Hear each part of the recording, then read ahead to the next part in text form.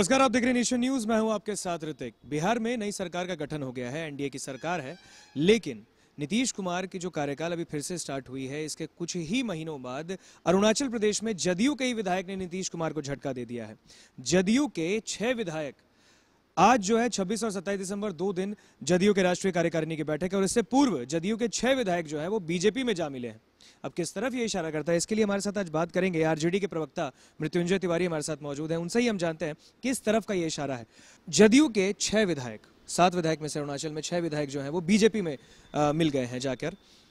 किस तरफ़ ये इशारा कर रहा है? क्योंकि एनडीए की सरकार तो खुद बिहार में जब जदयू के ही विधायक इस तरह झटका दे रहे नीतीश कुमार को और बीजेपी में जाके मिल रहे हैं किस तरफ़ इशारा कर रही है? देखिए, इशारा और मनसा बीजेपी का स्पष्ट है कि जेडीयू को बर्बाद बीजेपी करेगी।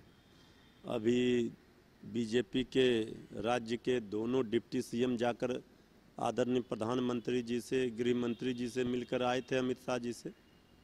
और इसके बाद वहाँ अरुणाचल में जिस तरह से अपने सहयोगियों के साथ घात किया, सहयोगियों को ही उन्होंने धोखा दिया और उन्हीं के जेडीयू के एमएलए को अपने पाले में बीजेपी ने शामिल कराकर यह संकेत यह संदेश दे दिया आदरणीय नीतीश जी को कि अब आप खत्म।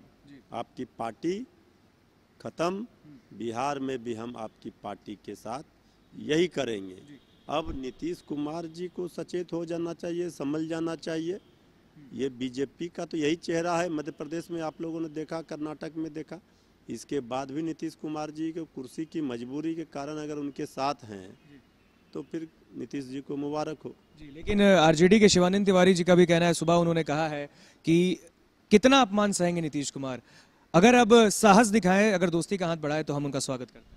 नहीं ये सब तो देखिए दोस्ती का हाथ और शिवानंद तिवारी खुद कह रहे हैं। नहीं नहीं, ठीक है वो कह रहे हैं सीनियर लीडर हैं हमारे पार्टी के। लेकिन अब जो भी बातें होगी वो अब दूध का जला हुआ मट्ठा भी फूक कर पीता है।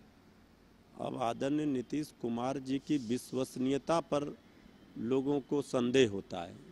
कब किधर चले जाएँ। इसलिए वो ठीक है, पहले वो वहाँ से बाहर निकलें। इसके बाद हमारे पार्टी का नेतृत्व इस पर क्या विचार करेगा, वो नेतृत्व का विषय है, ये प्रवक्ता का विषय नहीं है। बहुत बहुत धन्यवाद। तो मृत्युंजय तिवारी का कहना है, आरजेडी के प्रवक्ता हैं, उनका कहना है कि बीजेपी जो है, वो जदयू को एक तरीके से बर्बाद करके छोड़ेगी। लेकिन अरुणाचल प्रदेश में जिस तरीके से सात विधायकों में से छह विधायक जदयू छोड़कर बीजेपी में जा मिले हैं, वो भी राष्ट्रीय कार्यकारिणी बैठक से पूर्व, यह भी कहीं ना कहीं कुछ तो इशारा राजनीति में कर रहा है। तो फ़िलहाल के लिए खबरों में बस इतना ही। देखते रहे नेशन न्यूज़। धन्यवाद।